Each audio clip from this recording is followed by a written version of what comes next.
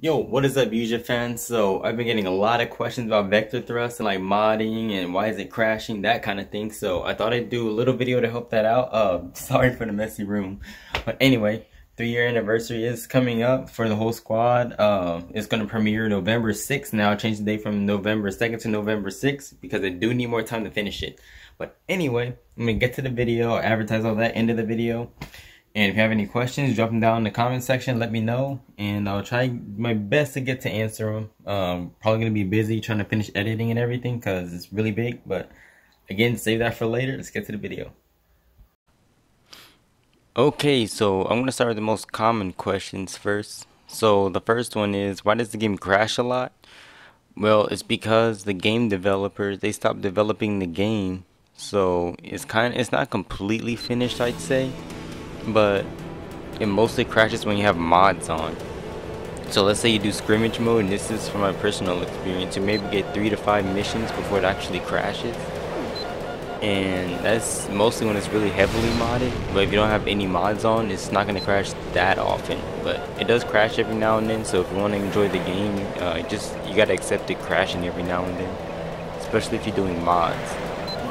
And this is one very common question I get asked. Uh, another one is, you know, is it worth buying? Is it easy to mod? So the worth buying part, I will answer that at the end.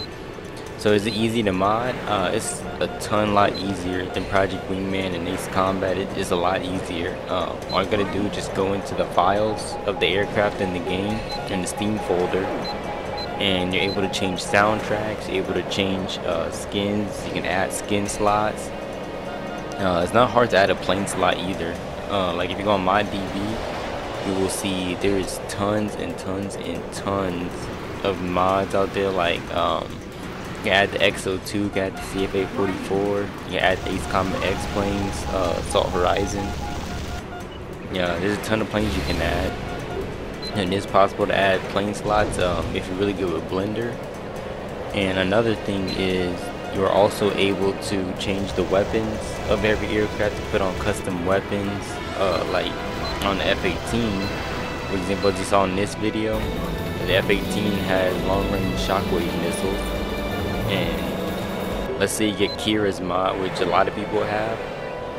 Uh, what I do is I get the aircraft that I want to keep in there, and I keep those and delete the rest of them that I don't want. So, you know, you can fly the Aigaion, you can fly the Spiritus, the Orgoy, you know, some of the Ace Combat uh, Flying Fortress Legends. You can fly those. And also, you have the option of having custom aircraft. And it's not hard to add skin slots, speaking of that. You know, you just gotta make a file. And I'll make a whole another video about modding. Uh, so that way everyone can kind of get an idea. Because I'm starting to see people they come to me like, hey dude, I saw your video on vector thrust, so I decided to get in and try it out. So, you know, they got it and they tried it out. So I'm gonna make some modding tutorials.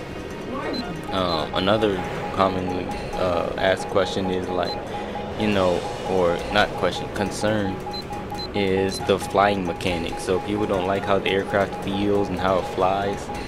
Um, I was the same way when I first got it. I got it I was on the first mission. I was like, dude, I just, I, I, I hate how this plane flies. I hate the missiles.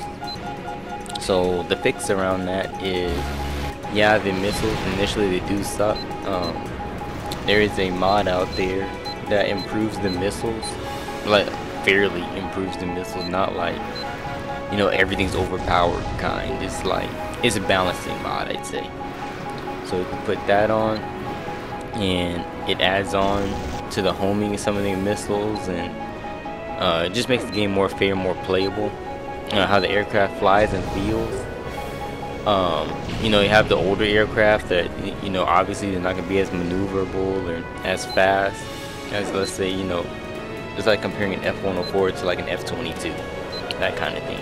Um, so got a lot of that. You start out with those kind of aircraft, some of the uh, older aircraft like let's say like from the Cold War and like Vietnam, you know, start with some older aircraft. So you have to get past that, and they are kind of sluggish, as you would think they would be. Still amazing aircraft. Um, but if you want to get past that, there is a cheat called Score Cheat, and it is a battle scene So you install that, and then you go to the battle scene. You run the mission. Doesn't matter what aircraft. The mission literally lasts less than a second. Oh, excuse me. It lasts less than a second, and you do the mission. It gets you like infinite credits, infinite money. Uh, I forgot the, what the currency is called, but you can do that, and then you can go into where you unlock all the aircraft. You have to manually unlock them. Uh, makes the process a whole lot faster. You don't feel like doing the dreadful uh, missions, just having to keep on going and going and going, because there's over 200 aircraft in the game, so it's it's not a small amount of planes at all.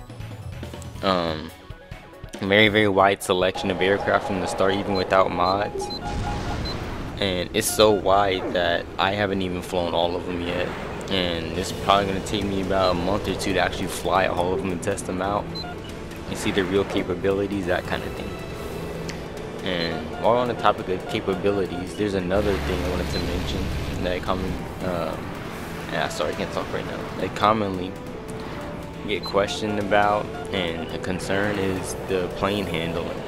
So a lot of people they do um, either the old flying style or base combat. Uh, you do arcade. Don't do either of those. Do the based on real stats because that will give you flares. That will change the aircraft's handling. That will change the missiles, and it will change pretty much everything about the game.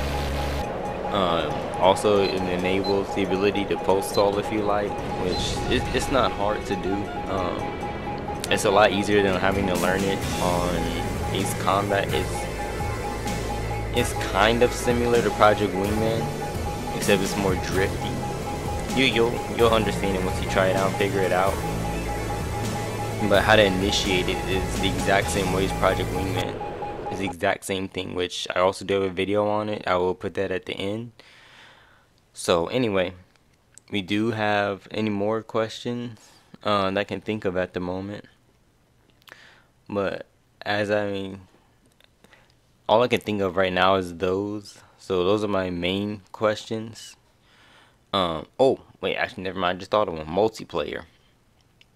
So multiplayer, yeah, it is dead because, you know, the game crashes a lot and uh, you know people just they, they don't like that it's not it's not a stable game at all very very fun game but it's not stable so people don't play it and it's not like ace combat let's say you know you add a skin slot or whatever you change the skin and you change the skin of an existing one like let's say I change skin one of the F-16 to change something I have you know it's it's not going to affect multiplayer at all but let's say add a skin slot and the other person in the lobby doesn't have that skin slot, the game's gonna crash for one of you or both of you. I don't know exactly why it's like that, but it is, and that's with all mods, you know, adding planes, just anything like that.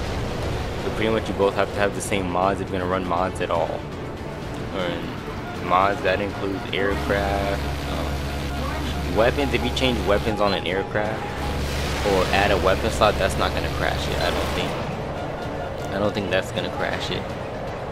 Uh, unless you do something like MPBM that you got off the Morgan. Let's say you put MPBM on the F-16. It's on the Morgan. Yeah, that'll crash it for both of you. But let's say I swap it with, let's say I swap the AIM 132s with the, um, let's just say AIM 9M8s.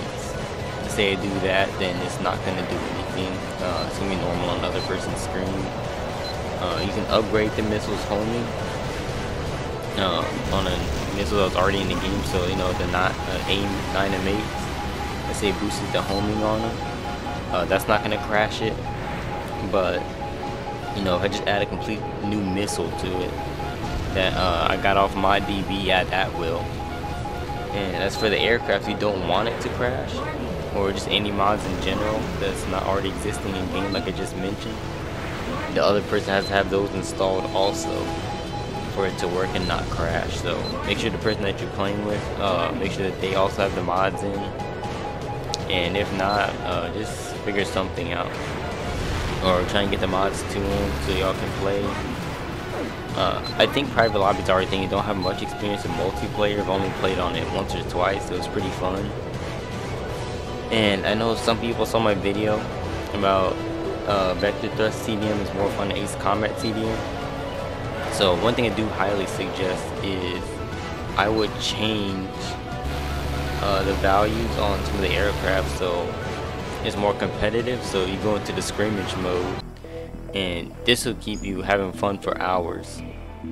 Uh, you change the team deathmatch and then obviously select the aircraft you want, select the map, uh, day, night, all that kind of thing. And then you go over to the AI settings, turn up to 25 on Ace, and then have the team separated. But uh, it's not always going to be very competitive because you know it's to be like Cold War and Vietnam era aircraft against like you know F-22s and Y-23s. That's, that's not really a fair fight. If you've played the game before, you'll see why. So if you want more of a fair fight, what you do is might take an hour to do it. Choose all the aircraft that you want to actually play against. They're actually competitive. So, you know, pick the F-22 variants and F-22. Pick the F-15, the 14s, the 16s, uh, the Sukhois. You know, just any aircraft that you want to fight uh, that's plenty maneuverable, that can hold its own. Go in the files of each aircraft, go down to the year and change the year. The start year, just put a dash, and then the end year, uh, put 2060. Actually, wait, no, do the other way around. So start year 2060, end year dash, and then change the aircraft type, change it to fictional, and just do that for all the aircraft you want to fight as the AI. So, you know, let's say did that to F-14, F-15, and SU-27. Let's say it did that. So I go to the AI settings. I'm gonna click None. I'm gonna hit Start 2060, and I'm gonna uncheck everything but fictional. And then you know the F-15, F-16, F-22, the F-14 that I picked, and put that in the data files those are going to only show up as the AI. Sometimes it is glitchy and doesn't work. Uh, it's not all that often. Most of the time it does work, but just remember it is a very unstable game. But I do say it is worth the money. Uh, if you want to have fun, just like learn how to mod and all those kind of things. You can make your own missions. Um, you can mess with the weapons. I think you can change the warheads. Uh, you can add soundtracks. Custom skins are really easy to make. Um, you do have to have some photo editing knowledge to be able to do that. So I would recommend having a program like GIMP or Photoshop, things like that. I suggest doing that. And adding the skins, again, I'll make a video on that. Uh, after all my three-year anniversary stuff is out the way, I'll make some videos. So stay tuned on that. Uh, I'll advertise that at the end of the video. Again.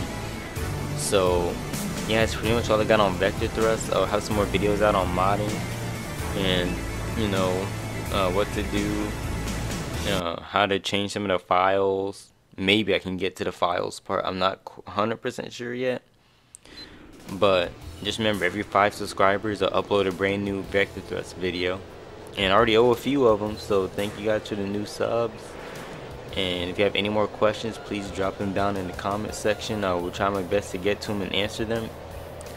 And I'll see you guys later.